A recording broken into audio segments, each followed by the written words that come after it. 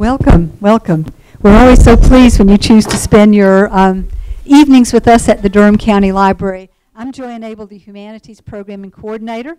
And those of you that come to our programs, um, welcome back. And those that are, are new, we hope that you'll come to more of them. Um, this is our brochure of the upcoming programs. I'm only going to mention one. It's a quick commercial tonight. This Thursday, we're having an amazing program called 40 Days and 40 Nights. It's on the 8th anniversary of Katrina, and the official photographer for the Port of New Orleans has done a really wonderful slideshow, and he will come and talk about it.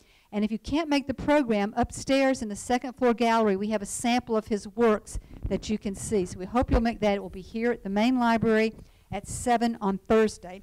And also, my other commercial is all of the programs are brought to you by the Durham Library Foundation. And we're in a fundraising phase now. We've already raised half of our 1.5 million that we want to raise, and we're saying it takes people of all stripes to make a good library or great library. So pick up a bookmark or a brochure or ask me about it later.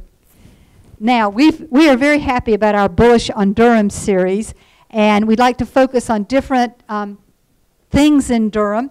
And my coworker Alice Sharp had met Dr. Rohe and thought he would be fabulous to come and talk to us about Research Triangle Park because I don't know anything about the history very much. So he is the, Dr. Rohe is the Cary B. Boshamer Distinguished Professor of City and Regional Planning and the Director of the Center for Urban and Regional Studies at the University of North Carolina at Chapel Hill. He received his PhD from Penn State University and is an award-winning author who has written several books and over 60 journal articles on topics of housing, community development, policy, and practice. His research has been supported by a number of organizations, including the U.S. Department of Housing and Urban Development, the Ford Foundation, the MacArthur Foundation, and we have his most recent book. We don't have a lot of copies, so if you're interested after the questions, run back and buy you a copy. If you don't get one, it is available at Regulator and other bookstores. So without any further ado, welcome with me, Dr. William Rohe. Thank you. Nice. Well, uh, first of all, can you hear me well? Okay. Uh, second of all, thank you all for coming. This is a terrific audience. Uh, hopefully you'll have lots of uh, questions. I'll try to keep it to 45 minutes at the most, and then we'll have a chance for discussion, and you can challenge me on something I said, or if some of you have had some experience with the park, uh, you can add to my knowledge, possibly. And I also like to thank Joanna and the staff of the library for setting this up. Uh, it's wonderful to be able to have this opportunity to come and talk to you this evening. Um, I thought I'd have my computer right here that I'd be able to look at it. Uh, turns out the plug is way over there. Uh, so normally I love to keep really good eye contact with my audience, but I'm going to probably have to do some double takes up on the screen there uh, to follow uh, the presentation. Um, in the city planning field, we talk about transformative developments. Uh, those are the really special ones that really changed the trajectory and the future of a place. The RTP, Research Triangle Park, is in fact one of those transformative investments.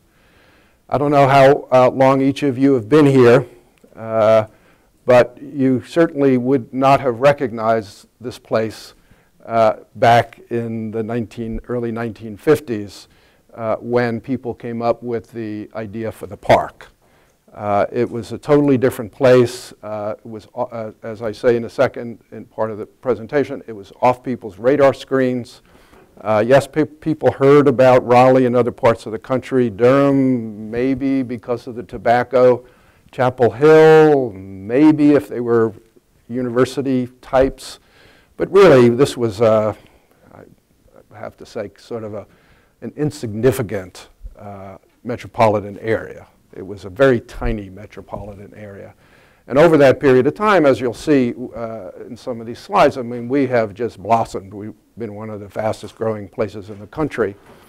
And it's clear to me that the Research Triangle Park was really central in that whole growth trajectory and making this place uh, the way it is today. Now, having said that, the park is over 50 years old now. It was designed uh, back in a different era, and uh, some people have called it a dinosaur. Uh, people who are thinking about sustainable development look at the park and say, oh my God, are you kidding? You have to drive everywhere you have to drive to it, and then you have to drive everywhere to get around. And then if you want to go to lunch, you have to get back in the car and drive again. You can't find it. It's like, you know, uh, it's funny, people come to visit me and they say, oh, yeah, I, I want to go out and I want to drive around the Research Triangle Park and see it. And I say, well, you can try, but all you'll see is a bunch of signs along the road. You can't see anything.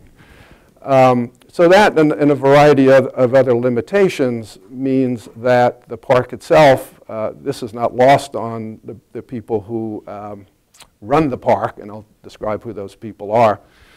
Uh, they understand this, they get this, and they've recently come up with a new plan to try to bring the park into what we might call the 21st century, uh, to try to add density, to add some there there, uh, to try to to diversify uh, the activities out there. Actually bring some housing, radical, uh, bring some housing into the park, which has really never had housing. So that's what I'm going to talk about today. Uh, I'm going to talk about the history of the park, uh, how it came about, and then I'm going to talk about where it is today and what they're trying to do to uh, bring it up to the modern age. All right, so uh, what led to the creation of the RTP? What was the thinking behind the development model, the very low density development model? What impact, excuse me, what impacts has the park had on the metropolitan area? What are the major challenges faced by the park today? excuse me. And then how are those challenges being addressed? That's the agenda that I'm going to pursue this evening. So let me break, take you back to, to the early 1950s. Uh, North Carolina uh, was heavily dependent on three major industries agriculture, textiles, and furniture. And a lot of the agriculture, of course, was tobacco, a la Durham. The whole history of Durham is the history of, of tobacco in, in the United States. But those three industries were in decline. It was clear the handwriting was on the wall. Those were not going to be industries that were going to create jobs in the future. And this state and this metropolitan area needed a new reason to exist. The per capita income of people in North Carolina was two-thirds of that of the country. It's now, we're, we're now at least uh, recently up to the per capita income. At one point, we were well above the capita income. I have those uh, figures for you in a second. There was a brain drain from the area, so we had these three um, not quite as big and quite as prestigious universities as we think of them today, but we still had NC State, we still had Duke, and we still had UNC Chapel Hill that were turning out a lot of scientists, a lot of technical people, and also a lot of uh, historians and, and the like. But particularly for the science-based people, there was no jobs to be had in North Carolina. Uh, I'm exaggerating. Very few jobs in North Carolina for people with those kind of uh, technical skills. So they would graduate, they would get on the train, and they would head to New York, Chicago, uh, other places in order to find employment. So that was um, obviously very disappointing to people in the state, not only the moms and dads of these students who had their sons and daughters, thank you so much, uh, heading off into the wild blue yonder, uh, but also uh, for the economic development of the state to be losing this in incredible res resource, this talent, and uh, shipping it out to, to other places. Um, and then lastly, the area was just not on anybody's radar screen. the idea that a corporation like IBM or Cisco Systems uh, would come here, it was why? Uh, it was the South. Uh, even though it was a little bit more progressive South, it was still the South. And you had very few Fortune 500 companies. Uh, again, there was really not a whole lot of reason for a big company to move to North Carolina. So that was the state of affairs in the 1950s. Um, little slide of some of the founding fathers of the park uh, who realized that they wanted to create a new place to create jobs, to support the universities, and, and to improve the quality of life in North Carolina. Now, the creation story, if you will, uh, there's a lot of disagreement as to what, how important the role of different people uh, were in the development of the park. So this is my version of it based on my own reading of the material. Uh, but it seems to me that the, the critical person here, and he was influenced by others, no doubt, but the, it was an entrepreneur named Romeo Guest, and he was out of Greensboro. And his business was basically building textile mills. So people like uh, the, the big textile magnates would say, I want a new bill, uh, I want a new mill.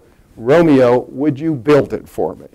So he was, was all built to order kind of textile mills. Well, he realized that business model was not going to work for him in the future.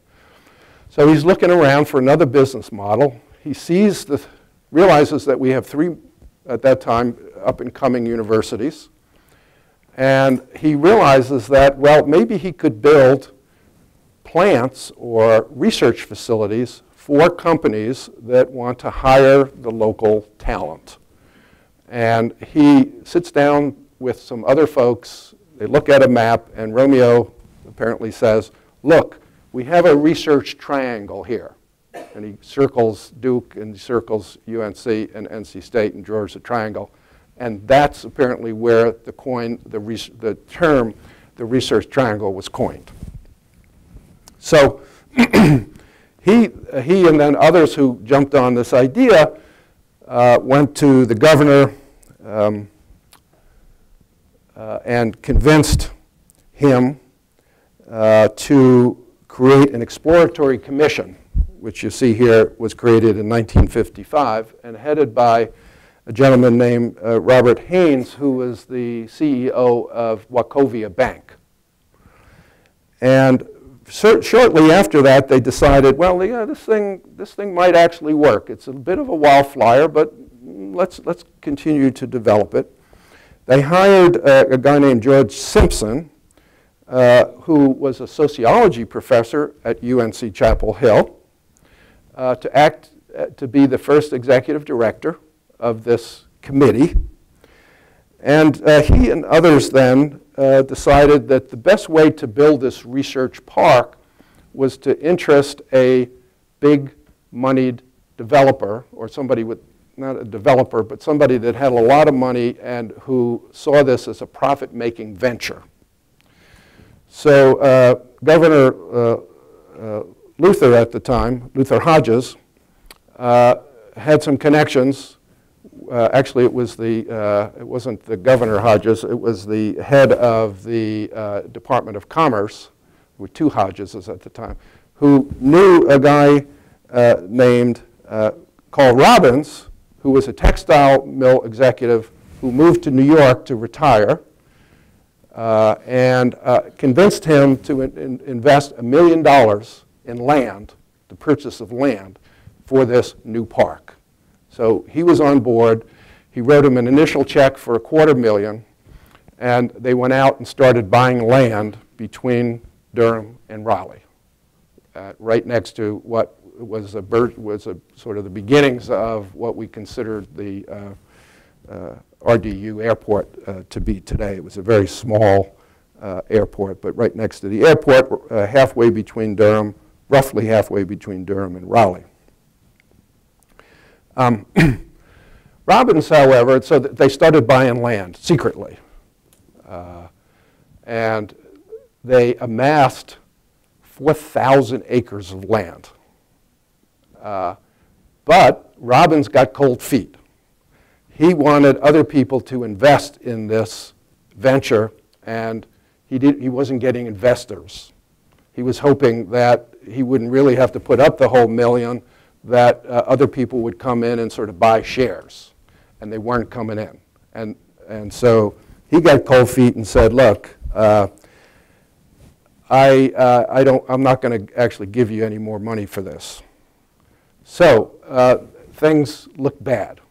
Could have gone south, so to speak. Uh, and along then comes, and, and uh, Mr. Hanes then actually was having some health problems, and he retired. And the new head of the Wachovia Bank, a gentleman named Archie Davis, they asked him to take it over, and he said, yeah, I'll take it over, but you know what? This, this whole private enterprise model, it doesn't make sense to me. He said, I'll take it over, but what I want to do is I want to turn this into a nonprofit venture. So Uh, you think about how radical that idea was. You can't get people to invest in it because they don't believe in it, but we're just going to get people to donate money. All right? That was the idea. We're going to get people to donate money. Now he's well connected. He's the head of Wachovia Bank. He goes to his friends and other interested parties and says, this is good for North Carolina. It's not good for the Durham County or Wake County. It's good for North Carolina. And he was right about that. So most of the uh, people who ponied up 50,000, 100,000 were people from Greensboro, Winston-Salem, and so a lot of the original investors were not people in the triangle. To some extent because the money wasn't in the triangle. The money at that time was in Greensboro. The money was in Winston-Salem. So in a very short period of time, he raised uh, uh, $1.25 million. They bought out the Pinelands Company, which was Robbins's company, and they turned it into a nonprofit uh, organization. They created what's called the Research Triangle Foundation that now, uh, from the beginning to now, uh, manages the park. And they were, they were off and running. Um, catch up with my notes here. So, uh, I'm sorry, 1.4 million is what, uh, as it says there, what Archie Davis raised. And uh, a quarter million of that was raised for the creation of RTI, the Research Triangle Institute. And this was an interesting call because part of what they wanted to do with this park, part of the way that they sold the park was companies, come on down and we're going to give you access to the faculty and these great students that we're producing at these three major universities. In order to do that, they had to get the universities to buy into this model universities had to be supportive of it, right? Otherwise, the companies would come down, the universities would say, I don't have time for you guys. So um, one of the ways that they, so the universities would said, well, what's really in it for us? And how are we going to interact with these companies? And they were very skeptical. Before I finish that point, let me tell you this one vignette that uh, I think is, is frankly hilarious. So um, Romeo Guest, is talking to a bunch of academics back in 1955 or so and explaining to him, to them, what his concept was. And uh, a, uh, one of the people who was with the general administration at the time stopped him and said, now Romeo, let me see if I understand this correctly. So you want us to be the prostitutes and you're going to be the pimp. Literally, quoted quoted. He got, he got quoted. In the book, in my book, it's quoted. Uh, I, I got it from somebody else who quoted it from somebody else. But uh, the, the point is that there was tremendous skepticism among the universities to, to get involved, get their hands dirty, right, to, to get into the business part of science. At that time, and it's changed radically at the universities today, there was this ivory tower mentality we do pure science, and, and anybody that did applied science was like second class. Now it's like the applied scientists, everybody's falling all over them because they're making a lot of money and pumping some of that back into the universities. Uh, back then, it wasn't, uh, wasn't an issue. But anyway, uh, the point is that the Research Triangle Institute was seen as kind of a, a, a meeting place for the businesses and for the academics. And in fact, in many instances, RTI does bring those people together. I've, over the years, done some consulting uh, with people at, at, RTI, and others have as well. We do joint contracts, although, frankly, uh, I think all the universities feel in the end that they siphon, the RTI siphons off more work than uh, they like. Some of that work they would like to go to the universities rather than to RTI. RTI now is, uh, last time I looked, I think it was about 700,000 a year in research contracts, which is pretty close to what UNC Chapel Hill does. So um, it's, it's a pretty amazing organization. Anyway, uh, fast forward, um, the park is founded. Uh, Luther Hodges um, announces it in 1957. A couple of small companies move in. RTI uh, builds a building, not much there at all. They continue to try to market it uh, until 1965 when the big break comes. Two big breaks come. First is uh, the National Institute for Environmental Health Sciences uh, makes the announcement that they're going to move to the Research Triangle Park. And that's a whole story about Terry Sanford uh, giving the uh, inauguration, not inauguration speech, the nomination speech, thank you, uh, for John Kennedy and bringing the South behind Kennedy. And so the, the, the idea is, the notion is that this was payback that we're going to, so Kennedy told uh, you are going to the Research Triangle Park, period. Uh, the other big one was uh, IBM. So IBM, they've been working on IBM for a couple of years, and IBM said, yes, we're coming to the park. Once that happened, the attention of the corporate America really started to focus in on the RTP. Well, wh why is uh, IBM going there? They must know something we don't know. And, and they did. They knew it was uh, low labor costs. They knew it was high quality of life. And they knew that this model, uh, this Research Triangle model, gave them these big campuses, which at that time was something very attractive uh, to, to these businesses. Okay, so that is a brief history of uh, the park. Let's see. Um, now, what was the, the thinking behind the development model? Uh, why do we have uh, this sprawling 7,000, I said it was originally 4,000, they added another 3,000 acres, so it's 7,000 acres of land with only, only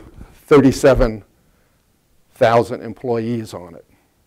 So if you think about the math there, not many employees per per acre, right? I mean, it's, it's kind of pitiful how low density it is. Um, so, but the idea was, and I, and I got a chance to interview Pearson Stewart, who was the chief, one of the chief planners for the park before he passed away a couple of years ago. And uh, he, he verified a lot of this uh, for me. And that is, they wanted, at the time, everybody was moving to the suburbs. People were looking for bucolic uh, environments, trees, open space, fresh air. The idea was not only are we going to uh, give them that in, in terms of housing, we're going to give them a work environment like that. They're going to look out their windows and they're going to see trees. And it's going to be, you know, beautiful and, and that was a big part of it. The other piece of it, though, uh, was that on these big campuses, they could essentially have a lot more control over their employees. Employees come in the morning, and there was no place for them to go for lunch originally, so they went to the lunch cafeteria. Well, you don't get hung up in the lunch cafeteria, and you're not doing your you know, double uh, scotch at lunch in, in, in, in the company cafeteria. uh, you know, it's kind of, the food is all right, but you eat and you get back to work. So there was that aspect to it. But the other aspect to it was they didn't want their employees fraternizing with the competition. And this is something that's really changed quite dramatically in some businesses. And I think this gets oversold sometimes.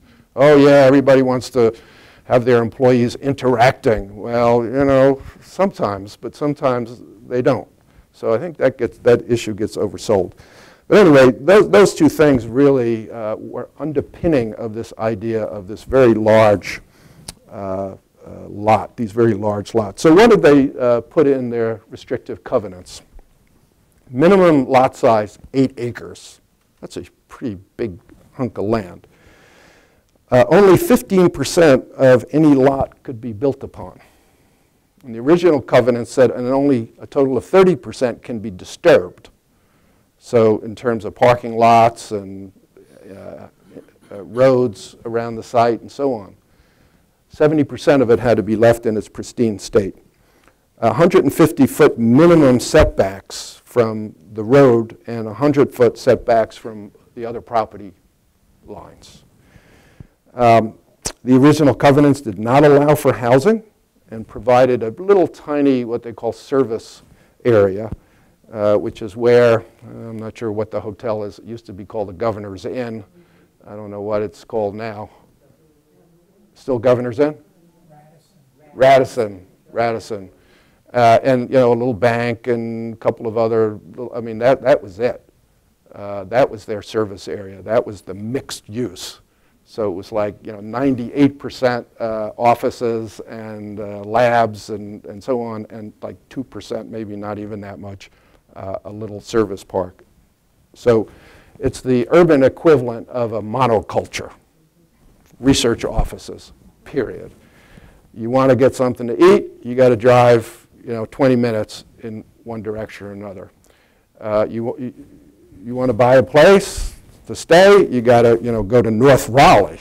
And so North Raleigh was the first place that uh, most of the park employees uh, settled because there was good road access from North Raleigh down the, the uh, uh what's now 440 uh, to 55 and then out on, uh, no, 54 and then out on 54. So good is, good is relative, huh?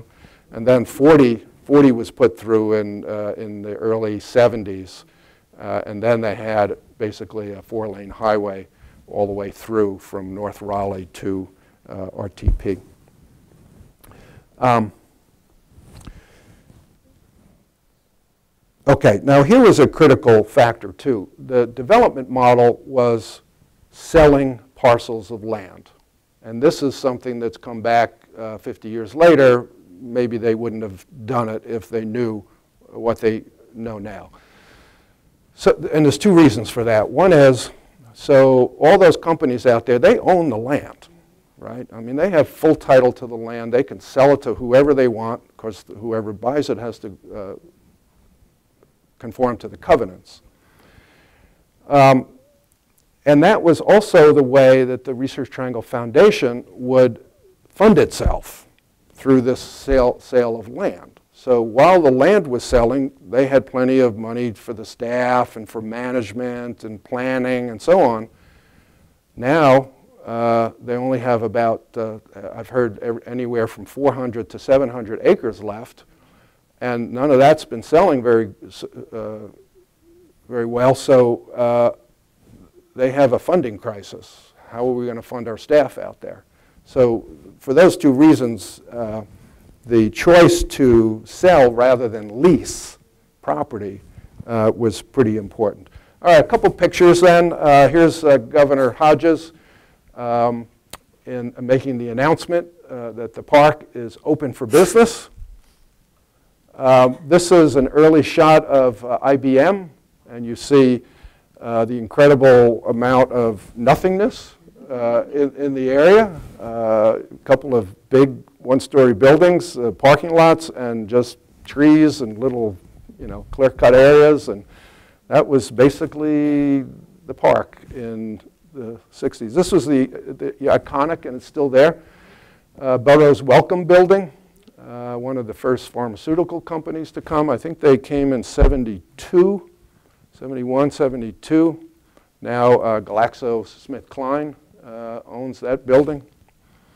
So uh, fast forward to today, the research uh, triangle today, 7,000 acres of land, largest research park in the country, uh, 22 million square feet of floor space, which sounds like a lot, but not on 7,000 acres. Uh, 170 firms, 38,000 employees, listing the, the major companies there. IBM is still the, the largest. I think they have about 12,000. GlaxoSmithKline is uh, down to about 5,000. Uh, annual salaries of approximately $2.7 billion. So imagine what that does in terms of supporting uh, businesses in uh, Durham, Raleigh, Chapel Hill, other places, Cary, of course. Uh, here's the list of the uh, major types of companies. This has diversified quite a bit uh, over the years. One other quick note about the original concept. The original concept was it was going to be limited to research facilities, period. And then IBM and some of the other companies early on said, now wait, we want to bring manufacturing with our research. So they, they loosened the covenants and said, okay, yeah, you can do manufacturing that's related to the research. So they didn't want just manufacturing plants. They wanted manu uh, manufacturing was okay if it was directly related to the research. So basically they, they said, you know, if you bring in your research staff here, you can bring your manufacturing. Don't bring manufacturing without research. So, um, and that's turned out to work quite well for them. Uh, that's the park. I don't you're kind of local, and uh, I don't think I need to uh, dwell too much on this, but uh, notice the little black dots within the park. I mean, those are the building footprints, right? So, I mean, that's incredibly low density, and those facilities are incredibly spread out. Um, again, another shot showing the amount of open space, big hunks of uh, green space. Uh, this is, I believe, the Cisco Systems uh, campus. Uh, big hunks of parking around buildings and then green space. Uh, I think this is uh, one of the EPA uh, facilities. Uh, you know, nice, and they, they make for good photographs, but they don't make for sustainable development, and they don't um, create the kind of edgy, interactive, exciting environment that at least some workers are looking for in today's economy. And this is the, um, the um, uh, Biotech Center. Uh, beautiful building and uh, really has played such an important role in developing the biotech industry uh, in the Research Triangle. So just a little bit, I'll go through this fairly quickly on the impacts of the park on the metropolitan area. Uh, lots of spillover effects on surrounding property. Um, as it says uh, down in the second small bullet, uh, there's an additional, and this is somewhat uh, old, I think this is a figure that dates back to about 2005, uh, additional 15 million square feet of floor space within about a five mile radius of the park. Uh, manufacturing plants have followed the R&D operations. So you see uh, in places like uh, Clayton, I think it's Clayton, there's a big uh, pharmaceutical plant. Uh, Holly Springs just got another big uh, Syntex, I think it is, doing the vaccines. so a lot of times these manufacturing plants, they may not end up in the park, but they end up in the metropolitan area somewhere. So the, the research is, in fact, drawing in uh, the manufacturing. Um, and now North Carolina is the third largest biotech center in the Western Hemisphere uh, after California and Massachusetts. So a big change uh, since 19, uh, the 1950s when it was all about agriculture, textiles, and furniture. And you see the increase in the uh, per capita income from 93% of, of the national average in uh, 1960 up to 107% in 2000. That's actually slipped back some uh, si since then. It's also had uh, a, a, wonderful impact on the universities. Uh, approximately 25% of new RT, uh, RTP employees come from one of the local universities.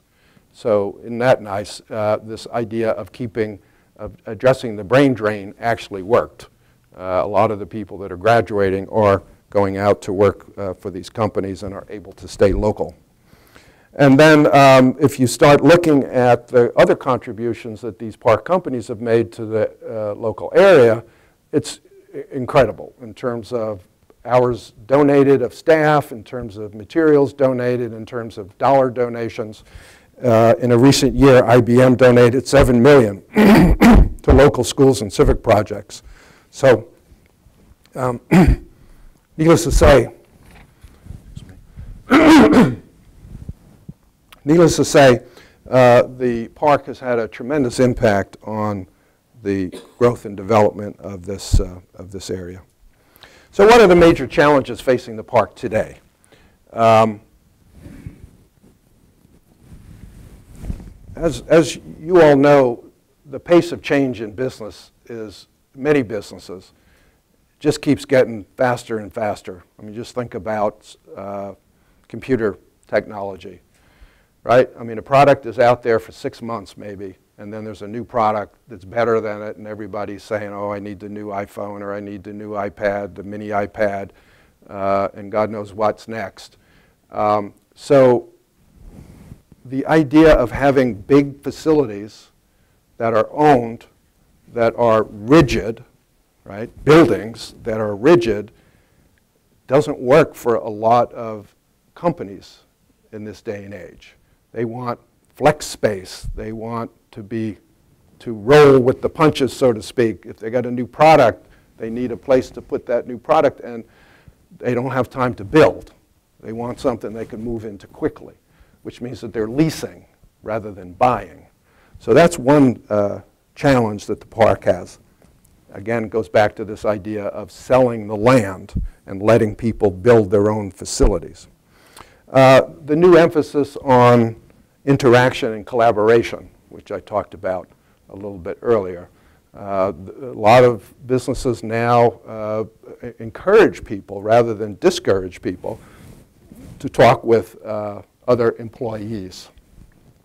Although, again, I would argue that that's oversold. There are certain industries that still they don't want you potentially divulging company secrets after your third beer at the bar with somebody.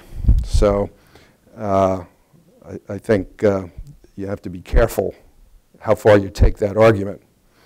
Um, there's a new emphasis on offering employees amenities, including sustainable environments and, and vibrant environments, right? Uh, a lot of people are now making decisions in terms of where they live and where they work based on, is this, uh, what's it doing to the carbon footprint? They have an environmental consciousness uh, that we could only have dreamed of back in the uh, late 60s when the environmental movement uh, got, got ginned up. Uh, new emphasis on smaller companies. Uh, there used to be, and the park was right in this, it was everybody was what they call buffalo hunting. Everybody was looking for that big company to come in and provide, you know, 1,000 jobs, 2,000 jobs. Uh, well, there are not many of those companies uh, that are footloose and fancy free. And what we see is that some of the startup companies have, in a very short period of time, become big companies. So there are two fantastic examples uh, the, uh, in, in this area, uh, metro area. the first one uh, being Quintiles.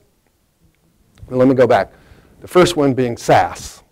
So back in the mid-70s, two professors from NC State had developed some statistical software to do some uh, analysis of research data, and they got the idea, well, maybe this is kind of useful to beyond just us and beyond the university. Let's start a business and create canned software. You know, rather than having to write your own code, we'll write the code and you put in the data and you, you know, hit a couple, you write some syntax and it does all the analysis for you. SAS was born. SAS is now a $4 billion a year company, uh, thousands of employees, uh, not located in the park, but close to the park, right over in Cary there, and uh, a tremendous impact. So now that I've talked about the uh, impact of NC State, of course, I got to talk about the impact of UNC. Uh, and here, it's quintiles. So again, a professor uh, in the public health school uh, by the name of Gillings was doing consulting for companies in the park, and he was helping, helping them develop drug trials. So every new drug, you've got to go through all these trials, right? The experiments, uh, make sure it's not harmful, and so on and so on. And not only that, each country has their own version of a FDA. So all these trials have to be done in countries around the, around the world. So he was, and he finally said, look, you know, I, I think I can open up my own com company. So in 1982, he took a leave from the university and he started Quintiles. Quintiles now is about, again, a $4 billion company. If you go uh, drive through the park, uh, on this side of the park, you'll see a big building right on the edge of the, uh, of the RTP, and it has a big Q on top of it. That's Quintiles. And that's just one of many buildings. And they have, oh, I think 3,000 employees in that here, and then like something like 20,000 employees around the world. So uh, all this is to say, uh, the idea now is rather than to try to buffalo hunt, not, not that they don't buffalo hunt, they still do, but uh, equally as important is to try to incubate new businesses and grow those new businesses into the next buffalo. And so RTP and many of the other parks have uh, created all these incubator spaces. So it's not just about getting the big companies, it's providing facilities for the small companies. Um, and then also the, the challenge is research parks are being developed all over the country and the world. In fact, uh, I've been over to China several times consulting, and we've had delegations of Chinese uh, politicians and business people coming to Duke, where I've uh, been talking with them, me as well as uh, other people, about things like, about economic development, and they get me talking about parks. And uh, I thought, well, this is going to be a new thing in China. Well, nothing uh, could be further from the truth. Uh, and there, because it's such a, a centralized government, uh, you know, the central government says, okay, we're going to invest in a park, and here's where it's going to be, and here's like, you know, $100 million to do it. So uh, they can move very quickly and very aggressively, and so we've got to compete with that. Okay, so all this is, none of this is lost on the folks out at the, the Research Triangle Foundation. So they have uh, been working on a new plan for a while. And I'm going to just go over quickly uh, the elements of this new plan. So uh, the key elements are increasing the density of development throughout the park. So right now, it, there's uh, at full build out, okay, full build out of the land given the current uh, zoning and covenants, they could have 26 million square feet of space, developed space. Uh, they want to raise that to 84 million square feet. So, like a 300% increase, huh? Uh, they want to go from 45,000 employees at, at full build out to 150,000 employees. They want to provide more transit options. They want to improve the visibility of the park. Uh, they uh, want to add more amenities in three what are call, called guided development areas, which I'll show you in a second. So basically, uh, these guided development areas, see if I can use this fancy pointer here, um, or maybe not.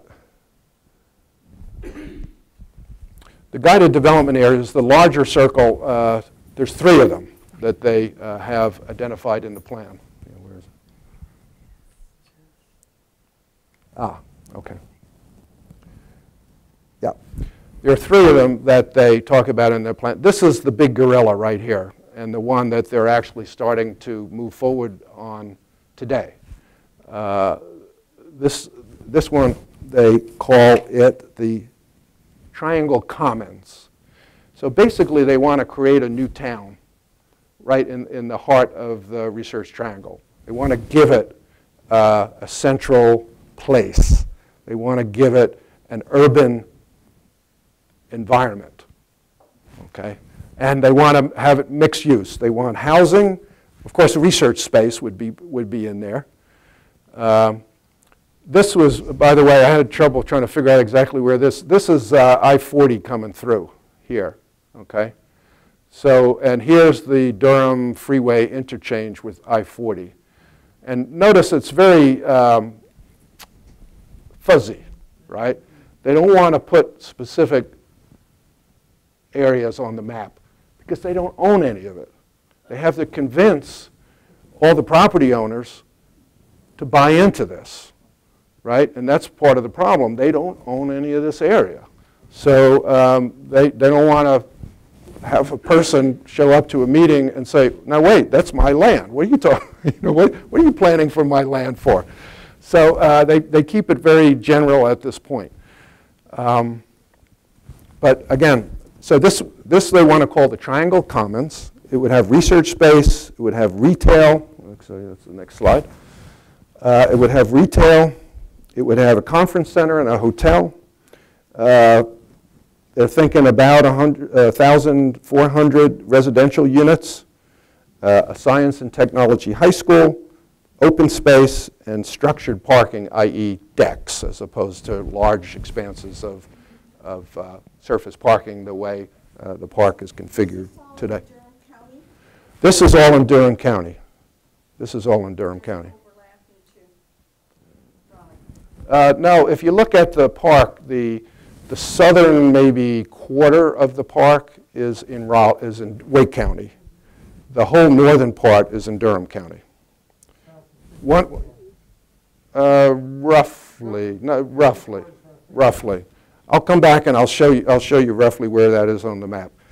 Uh, so they're talking about uh, a total of about 7 million square feet of development. So as I said, the park now has 22 million square feet, so they're going to add another third of the floor space just in this one Triangle Commons. All right?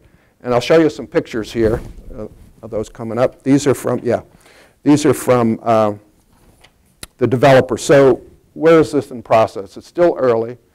They've been, uh, I'll, I'll, mention this in a second. They're um, working on changing the zoning uh, revising the covenants, and changing the state enabling legislation to allow this to happen because none of this would be allowed under the current uh, zoning covenants or state enabling legislation. Um, but they have gotten a developer to buy to, to work with them on this and it's not just any developer it's the Hines company and the Hines Company is big time, big, big time. Uh, international, I first ran into him, I had a uh, marvelous experience taking a sabbatical in Barcelona, Spain 10 years ago. And I was studying their urban re uh, revitalization experience. And there's the Hines Company doing this massive, beautiful project on brownfield land. And they totally transformed this section of Barcelona from an area that nobody ever uh, uh, wanted to go to uh, to an area that everybody wanted to go to. Uh, so Hines is, is a serious, serious developer. Uh, they do excellent high quality work. And uh, the fact that they're on board leads me to think that this thing is, is probably going to happen and it's going to be done well, at least from a design perspective. I'll, I'll talk about uh, at least one reservation uh, in, a, in a minute. So these are from the Hines Company uh, graphic artists. As to what this thing's going to look like. Now, there's a lot more in, that I could have shown, but I'm going to give you four uh, pieces. Uh, this is a, the, what they call the Convergence Center. Uh, this, this is their um, basically conference center. Uh, and who knows, right? I mean, they're pictures. Uh, but they're thinking big, they're thinking fancy, they're thinking 21st century, they're thinking uh, transformative, right? This is High Street, so they want to have a major boulevard in this commons uh, that has all the elements of an exciting uh, boulevard or, or street in New York City or San Francisco or pick, pick your high dense, highly dense, exciting, bustling city.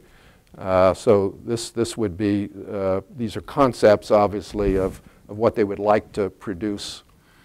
Uh, they're going to have a green, so there's the, there's the green. Uh, so basically a public square like you find in most uh, European cities. Um, whoops, what did I do? Ah, okay, let me go here. Uh, and then they're going to have uh, some parkland.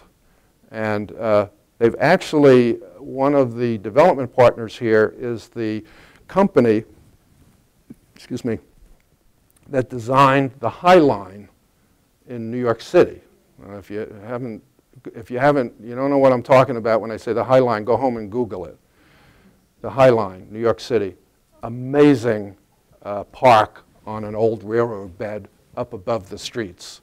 And the landscaping on this thing and the design work on this thing is just mind-blowing.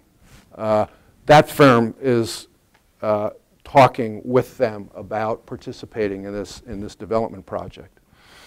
Okay, so let me just go back really quickly to the diagram. And so there's two other ones, as I said.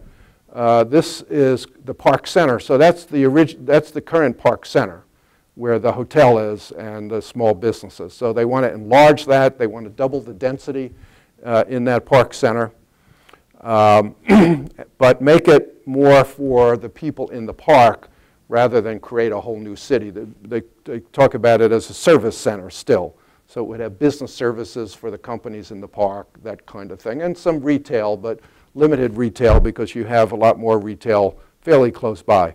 Uh, this being the railroad tracks, by the way. This is the, um, the uh, Southern Railway. I guess it's all the North Carolina rail, rail, Railway now, but this is where the train runs. And if we get commuter rail, this is where the commuter rail will run. And that's why the this uh, commons is centered around a commuter rail stop. If we get the light rail, which is even further in the future, the light rail would uh, somehow uh, connect these two, whoops, sorry, somehow connect uh, these two areas, because both of these are supposed to be connected with the light rail. And maybe there'd be some kind of a stop here, or maybe the light rail had come up here, or I'm not sure exactly what the route is right now, but uh, both of these are supposed to be accessed by light rail if the light rail uh, ever gets built. Particularly, be the, the, last phase would be, be, between Durham and Raleigh, right? So, uh, if you kept up with that. Um, so, and then this one here is called Kit Creek, and again, it's a different uh, kind of development model, much uh, less bold. This is the real bold one. Uh, this basically would have a lot of research space, and it would have a small commercial core. Uh, it would have no housing because apparently there's a big development uh, going in here that's all housing, and this is the edge of the park, so they're basically uh, going to create this symbiotic relationship between the office and retail here uh, and the uh, residential uh, development uh, there. Okay, I'm getting to the end, and we can open it up and, and talk about uh, anything I said and anything you want to talk about. So that's the Park Center. Um, went over that. That's the Kit Creek Center with the lakes as a central focus.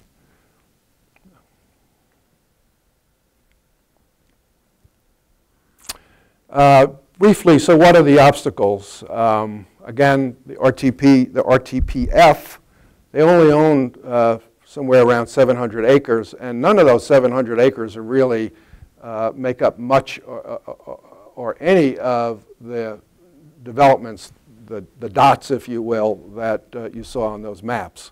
So basically, uh, they're going to have to convince owners, and at least in the service area, I understand that a number of the owners uh, some of the big owners, like the hotel, say, well, you know, we're doing fine. Uh, we're making money. Uh, you know, we don't really see a great need to redevelop. Um, so that may change. There may, you know, ownership changes all the time, and they may be convinced, but uh, it, it's not going to be easy um, with so many different landowners involved. Uh, you've got uh, the uncertainty over the public housing, the public housing, public transportation. Uh, improvements, when, if. You've got uh, restrictive covenants, which are private agreements that you sign a part of the, of the sales agreement. You've got uh, state statutes that created the park, and you've got both county zoning, both Wake County and Durham County zoning. Now, they've made changes in all these things already that allow for higher density development, that allow for some mixed use development. So they, they've really moved pretty quickly uh, on, on these. I'm not sure they've made all the changes that they want to make, but they've made quite a few. So um, that, to some extent, is um, they've checked those items off. And then, of course, the big issue uh, always is, is market demand and financing. Uh, obviously, the market has been depressed. Uh, this is a huge development. Whether there's going to be uh, enough demand to fill up that, over what period of time would it be developed, and so on. But that's, uh, that's what they're thinking about. Uh, last couple of slides, lessons. Um, you know, research parks have the potential to have transformative uh, and profound impacts on metropolitan areas. Uh, good park leadership and management are key to long-term success. I was uh, really, frankly, pleasantly surprised with how much uh, on top of these issues the park management was. They understand it's a dinosaur. They understand they've got to make changes. At the same time, keep the current uh, uh um, clients, the current owners happy. Because some of those companies are just fine with the big lots. They want those big lots. Why do they want those big lots? They're working with biological agents. They're working with radioactivity. They're working with caustic chemicals. And the last thing they want is a housing development next to where they're doing this stuff and having the residents say, hey, what is, it, what is it that's coming out of that stack over there? Or, you know, what is it that we should be concerned about? So they like that buffer. And so again, uh, many of those property owners are just happy. So they, they have a balancing act, and, and they, they understand that. Long-term management funding strategy is needed. Uh, still not quite sure that they've figured out what that's going to be. Uh, ensure flexible building designs and, and plan for integrated uses. If you were going to do a new park today, that would certainly be important. Uh, incubating new businesses is equally important as recruiting existing businesses and maintaining the quality of life in an area is critically important to the success of a research park. There's been times when the traffic, for example, on 40 has been so bad, companies have decided, no, I don't want to go there because we're trying to get away from traffic and we don't want to go to another place that uh, our employees are going to be stuck in traffic and complaining and and of course, there's no housing close to the park, so everybody's going to have to commute. Um, so, um, and, and, the RTPF people understand that too, and they've been involved in efforts to maintain the quality of life. Uh, and the last two slides I have for you are examples of what happens if you don't pay attention uh, to some of these quality of life issues. Um, this was before they put the third lane uh, going onto 40. Uh, so I took this picture from the Harrison Avenue Bridge looking toward Raleigh. So now they've got the third lane. It's not quite so bad. I don't drive that way too much. It's probably still backing up a little bit, but I don't think it's, it's this bad. But obviously, traffic and managing traffic, and of course, if we ever get a light rail system, that will help. It's not going to be the, the uh, end-all and be-all, but it will certainly help. Um, so traffic, uh, maintaining a, a high quality of life means keeping the, the traffic, uh, not, not keeping the traffic, that's a wrong way to say it, maintaining mobility, maintaining mobility, whether that's by car, by train, by bus, by bike, uh, or walking. Uh, all, all are fine as long as people can get around. And then, of course, uh, if you've been around for a while, uh, this was 2007 with our drought. Uh, you know, there's big issues with water. And one of the things, uh, last thing I'll give a little plug to the book. What you heard tonight uh, basically is chapter two, part of chapter, most of chapter two, or is it three? Uh, no, chapter two in my book. So the other parts of the book deal with the geology of the Research Triangle area. They deal with water issues. I have a chapter on school wars over in Wake County,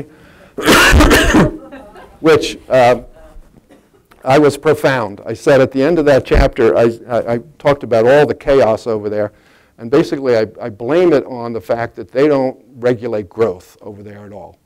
It's like their growth policy is y'all come.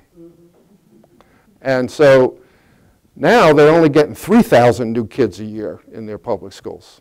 3,000 new kids a year. Back in uh, 2007, they had 7,600 kids show up for school in the new school year. You need somewhere around 10 new schools to accommodate the kids that are coming in one year. Now, is that crazy? Can't you say, hey guys, we, you know, we're all for growth, but let's manage it. Let's, you know, let's do, let's get 2,000 new kids a year. You know, we don't need 7,000. You know, let's slow it down. Let's slow it down a little bit. Why do we have to have all these people coming at the same time? And the school bond issue and the politics over, I mean, it's a mess. I think so much of that has to do with the fact that they don't have a decent growth management system. Anyway, thank you for your attention, uh, and I'm happy to continue the conversation. Ooh. All right, yes, sir. We're going to ask you to use Ah. the mic so everybody can hear you. Thank you. Thank you.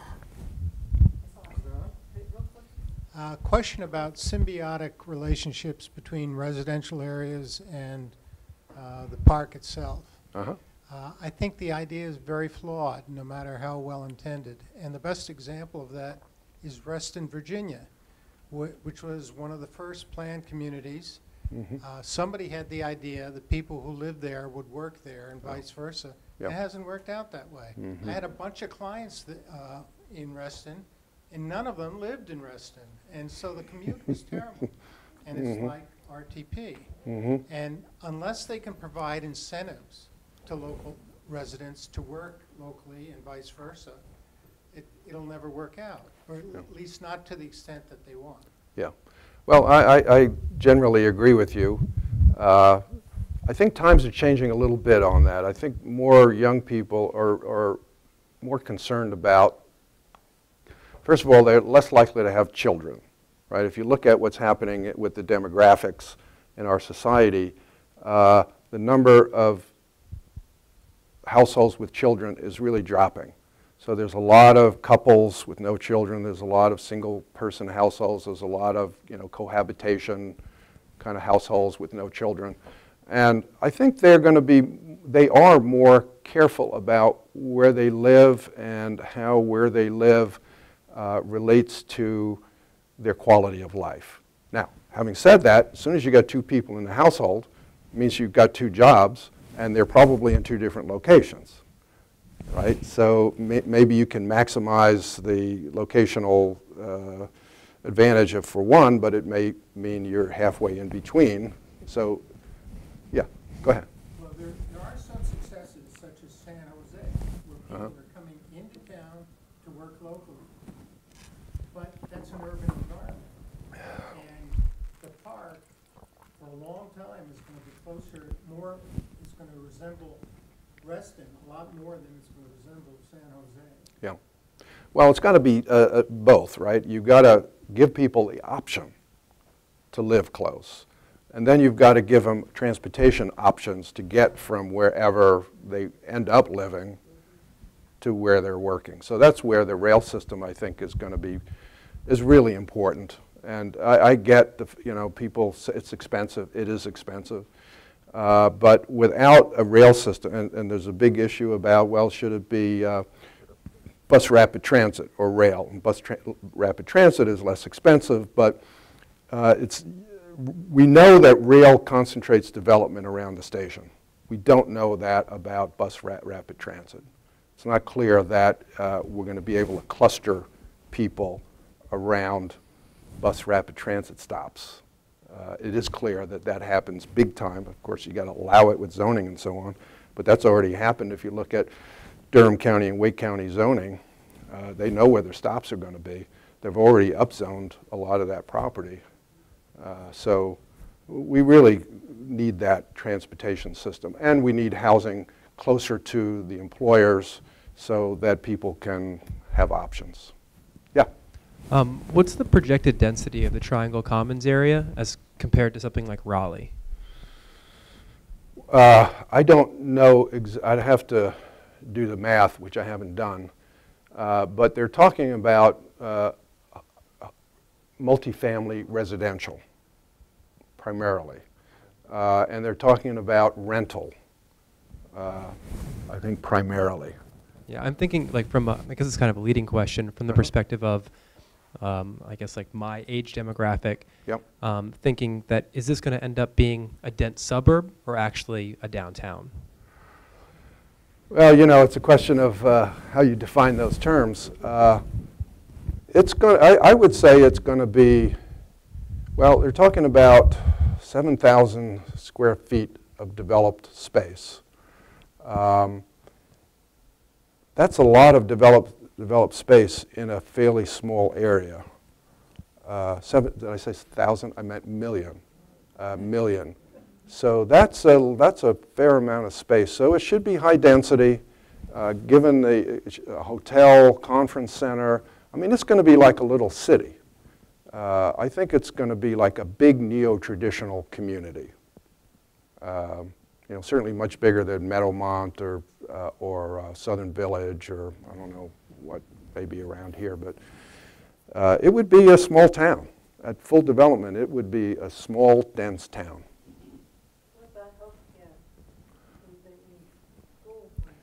Uh, I, I think they would just expect that to come. I don't think they're specifically planning uh, for healthcare. They'd have plenty of office space for the healthcare providers to come. Yeah. Yes?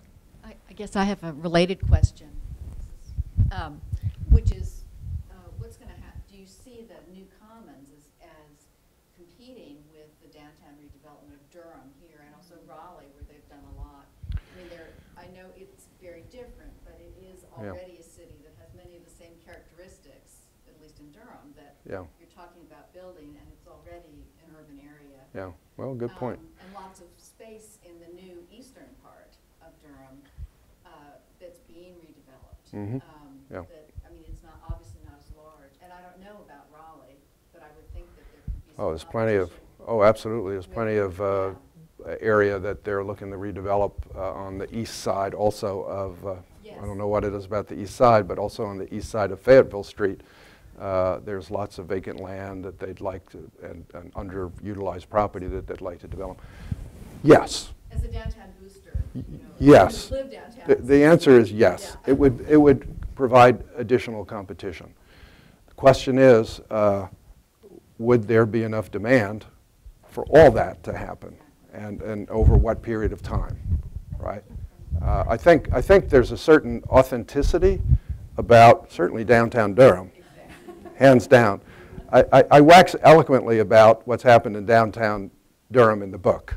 So I have a whole section on uh, the, the revitalization of downtown Durham, and I, you know, spent a lot of time with Bill Kalkhof and others and getting that story, and, and, and uh, Jim Goodmon and so on. So, I uh, just want to make one comment as someone who, who also loves downtown and lives in downtown. Uh-huh. When you started on that statement about, when the question was asked, no, I don't think so, because I think downtown Durham does have that authenticity. Mhm. And, you know, artists aren't gonna be, I don't think, you know, rushing out to RT. No, no. It's gonna be a totally different crowd. It's going to be, it's going to be expensive space, too.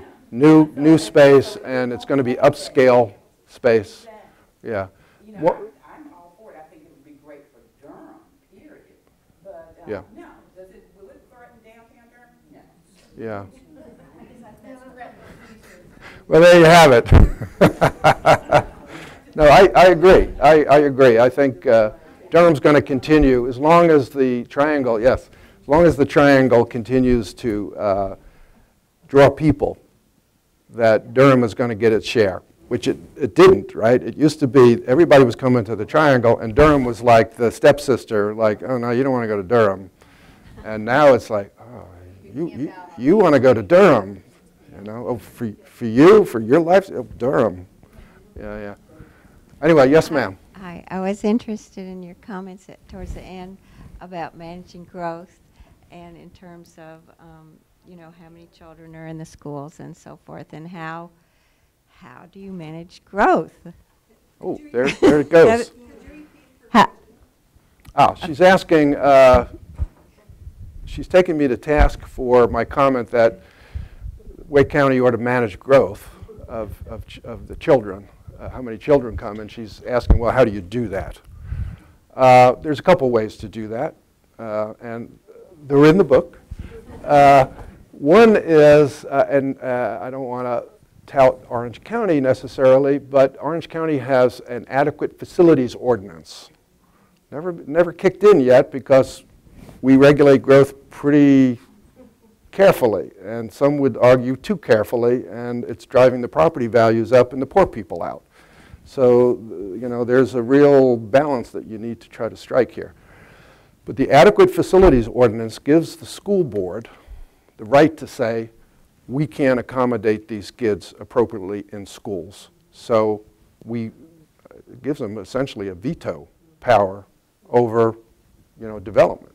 So that's one way to do it. A, a better way to do it, I think, is I think it was pioneered in, in a California town called Ramapo. And what they do in Ramapo, and I, I love this idea, I think it's great.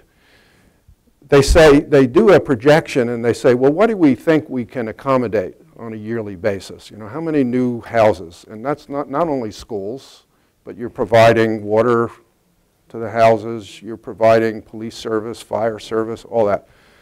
And they do a projection and they say, let's just pick a number, 2,000 people a year, or 2,000 households. We can accommodate 2,000 households. Okay. This year we're going to approve 2,000 units. The word goes out. And here is how we're going to rate these proposals. We're going to look at their environmental sustainability. We're going to look at uh, the affordable housing that's uh, offered. We're going to look at the design to see if the, they're designed in a way that is attractive and uh, in uh, accordance with whatever, you know, I, uh, what would you say, design standards there are in, a, in the particular town. And we're going to have this very rigorous rating system.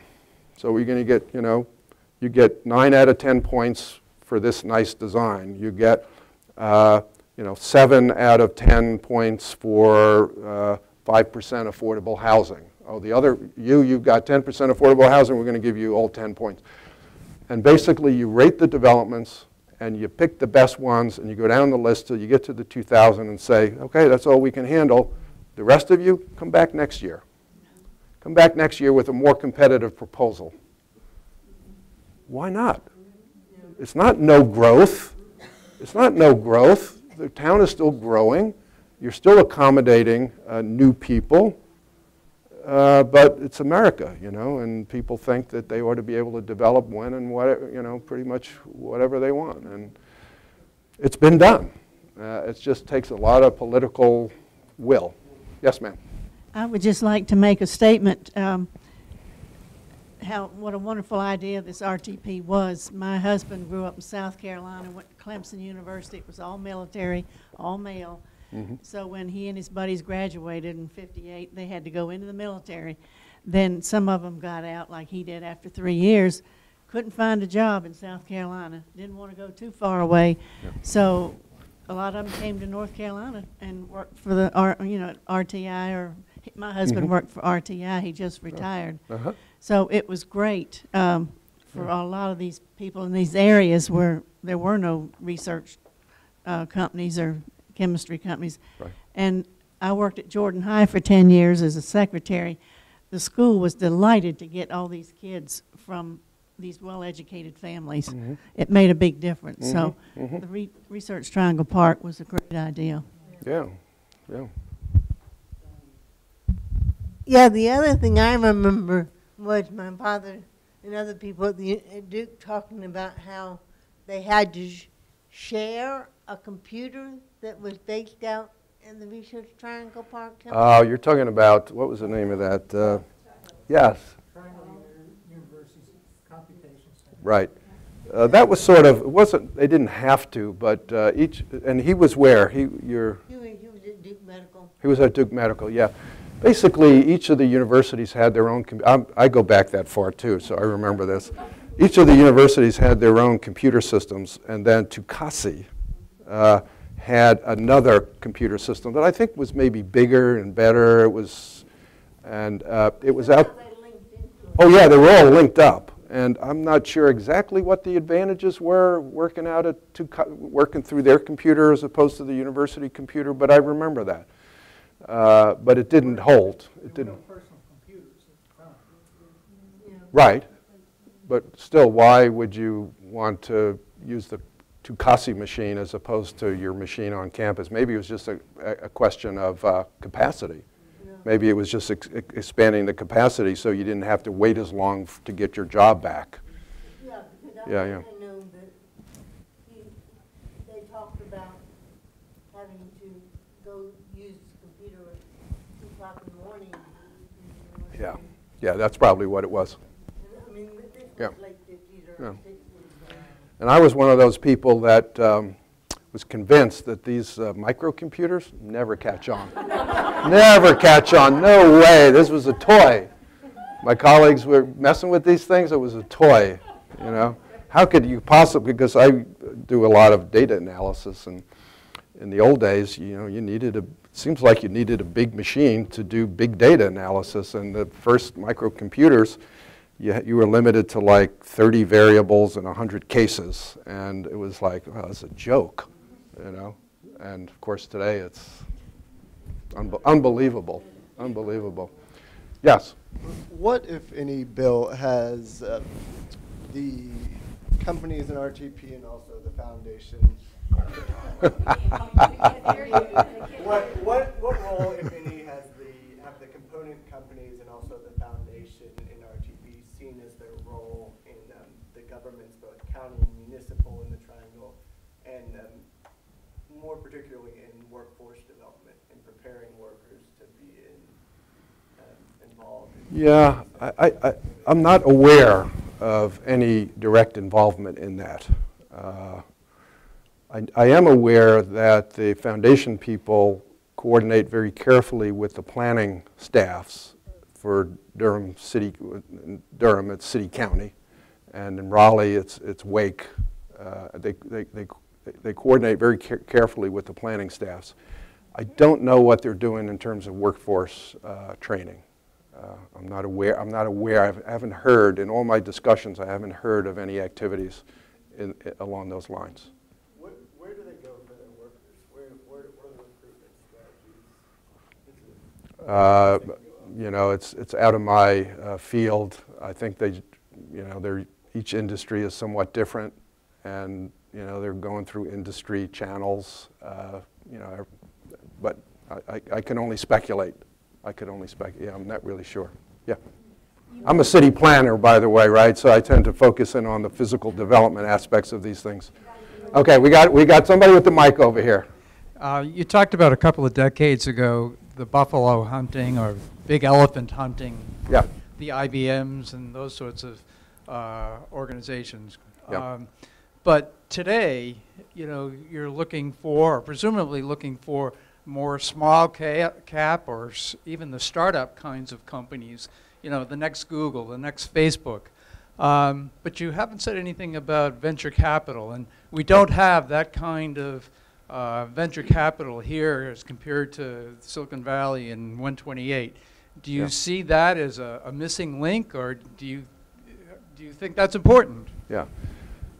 Let let me, uh, I'll get to that question in a second, but let me make one other comment. It's not that they are not going after some buffaloes. So if you look at the the last two big companies that moved into the park, uh, Fidelity and Credit Suisse, Suisse, I don't know how exactly you pronounce that, but those are pretty big companies with thousands of employees that moved into the park. I forget which one of them took over, and this was like, I think the foundation people had a huge sigh of relief. So when Nortel Systems went under, right, they have this big facility out there, big hunkin' building, built by Nortel, for Nor- Nortel, and for Nortel's business. Uh, you can't easily subdivide it. Uh, it's, it's what it is, and it's fixed. And they were really worried about having that thing just sit vacant for a long period of time. I think it's Fidelity came and said, that's for us. And for whatever, you know, it just worked for them, and they moved into it. So they're still after the Buffaloes. Uh, to some extent, to replace the ones that are kicking the bucket, right? Uh, in terms of the startups, I mean, you're absolutely right. Um, venture capital is critical. And I've got some statistics in the book about what the venture capital uh, is um, uh, in this area, some of the venture capital companies in this area. We certainly have it, but it's nothing like the scale of the venture capital dollars in the two places you mentioned. And probably uh, the, the other one that is very, very competitive is um, uh, Austin, Texas. Also, lots and lots of uh, companies, lots and lots of uh, venture capitalist funding uh, companies. But we're not shabby when it comes to venture capital. I mean, there are a number of venture capital companies that are located here and focus in on businesses that are being created here. The other thing that's going on is I mentioned that originally the universities were very skeptical about getting their hands dirty with this uh, applied research stuff, right? Uh, nowadays, uh, there are all kinds of incentives for faculty to uh, commercialize their work. The universities help them patent it. The university gets a cut of it. Um, lic- patent it, license it. Um, and um, th- they have incubator facilities on some of the campuses. Well, I mean, the, the really exciting new version of the RTP is Centennial Campus. I hate to say that. Being a Carolina guy, I hate to say that, but uh, that, that campus model is exciting. Uh, even though Red Hat decided to move downtown, I think they'll fill, fill that space pretty quickly. And what's different about it is, is first of all, it's mixed use. So there's still, the housing part is still small, but it's there, and it, it, it will uh, grow and develop. But it's also mixed use in terms of you've got computer science buildings there, and also you had Red Hat right there. So you got the students and you got the employers, and they're working together, and you know that's the talking about a collaborative model. Uh, that's an exciting model, a- and I think you'll see more parks like that. Let me, let me go back here since uh, we This is our last question. wedding anniversary. I married a man, I came down from Cambridge University of Delaware, whom I had met before, met him before at Duke. Uh-huh. And we married, uh, and so we lived the research triangle development. He uh, finished, uh, completed his PhD in chemistry at Duke, and was uh, uh, had a number of uh, possibilities for, for employment. But because he loved, he was in North Carolina and had so much tar on his heels, he just couldn't leave North Carolina. Yeah. And uh, nor thinking that I wouldn't want to either, and that's true. So we, uh, we uh, remained here in North Carolina, but he Mhm. worked with the first company in Research Triangle Park, which was Chemstrand. Yes, Fabulous yes. company. Yeah, yeah, yeah, yeah. Fabulous company. Yep. They brought, an- they built an entire village or town um, or, or development for these people. Parkwood came Oh, about really? That was built that- for of that Kents? couple Oh, I had no here. idea. It would never have existed, probably, Oh. certainly as it, as it did immediately. Uh-huh. And uh, then it became uh, Monsanto, bought them out, another fine company. Mhm. When they decided to leave, we had children at Jordan High School and didn't want to leave that area for sure, and was hired by IBM. What a glorious career could Yeah. anyone ask for? Yeah, yeah. And we've had in RTP. Yeah, yeah, yeah, yeah. We're yeah. going to have to stop with that All right. one. Um, All right. We have a few books left. Thank you all for coming. Please grab an evaluation on, the, on your way out because we like to know what kind of programs you like to have, and we really do pay attention. Thank you. Let's give Dr. Right. Rohe a big round of applause. Thank you, Thank you very much.